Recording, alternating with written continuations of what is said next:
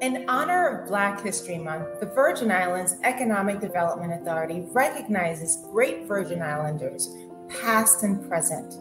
Hi, my name is Yolanda Bryan, the Virgin Islands Economic Development Authority's Business Ambassador, and today we honor Midre Almeric Cummings.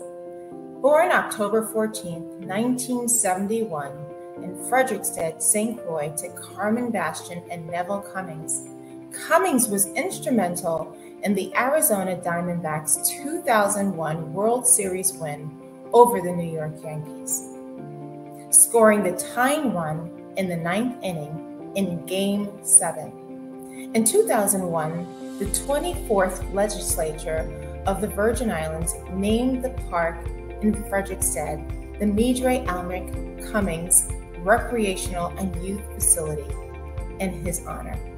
We celebrate and honor Midre A. Cummings during Black History Month and throughout the year.